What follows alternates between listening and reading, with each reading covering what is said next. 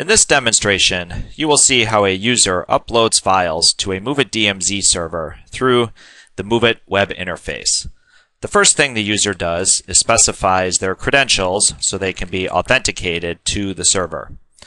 Once signed on, the user is presented with their home page where they can browse files and folders that are out here for them to download, as well as select a folder to upload files to. In this case, the user will use the ActiveX upload wizard in order to specify multiple files they wish to upload simultaneously. The user can specify whether these should be individual files on the server or if they should be compressed on the fly into a single zip file.